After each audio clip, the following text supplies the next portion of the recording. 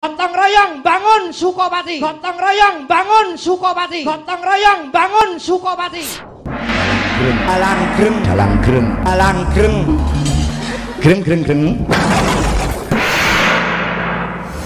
Sing penting ayo seniman seniwati se Kabupaten Seragen dan mengajak semua warga masyarakat Kabupaten Seragen untuk selalu kita bersama kita jaga persatuan dan kesatuan gotong royong bangun Sukopati.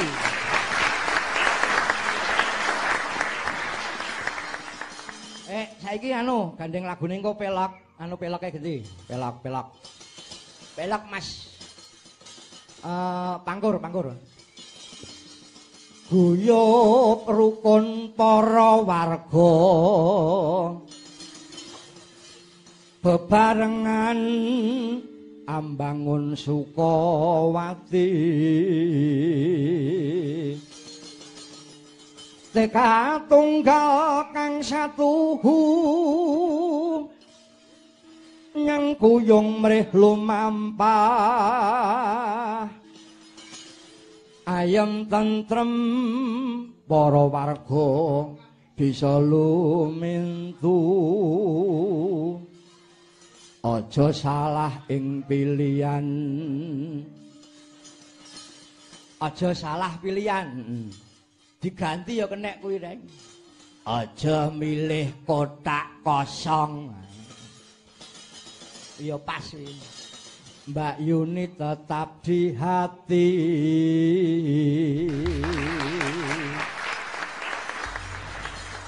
Jos Bablas ki lagune apa, Truk?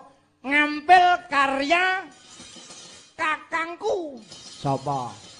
Pak Bagong Mojo. Nah. Sak ora-orane pengabdiane mbiyen ning Kabupaten Sragen kuwi ya jos kok. Mula ya awake dhewe wajib bangga duwe Mas Bagong Mojo. Nanti karyane tercipta banyak sekali. Oh ngono. Ah, ngampil karyane Mas Bagong. Mas Bagong Mojo. Ah. Tak isi ngendang. Ah. Lagune judule Sragen Asli. Monggo Greng Grup Nusantara dados Sekar kini tung binuka.